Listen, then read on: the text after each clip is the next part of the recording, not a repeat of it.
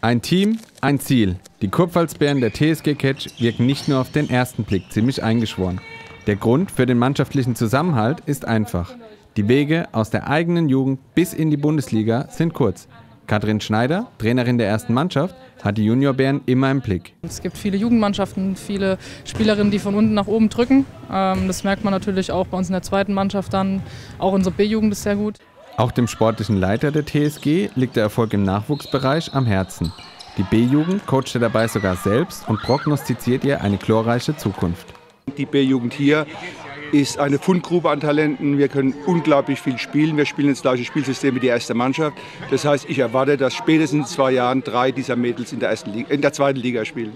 Eine A-Jugend hat die TSG dagegen nicht mehr, denn die Spielerinnen in diesem Alter sind bereits so gut ausgebildet, dass sie problemlos in die zweite Mannschaft oder aber noch höher eingegliedert werden können. Und es gibt einen weiteren Vorteil, den finanziellen.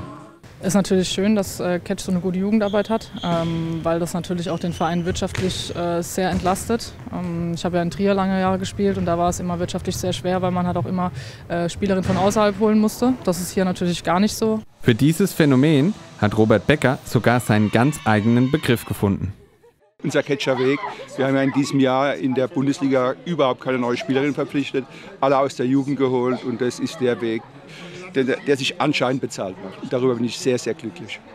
Ganz einfach ist es aber bei der besten Ausbildung nicht, den Sprung zu den Kurpfalzbären zu schaffen.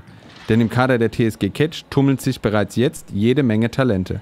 Doch der Aufstieg der Reserve in die dritte Liga vereinfacht es für den Zweitligisten ungemein. Es ist natürlich schwer, den Weg in die zweite Bundesliga zu machen, ähm, aber ich glaube, da sind wir auf einem guten Weg, nachdem jetzt unsere zweite Mannschaft auch in der dritten Liga spielt.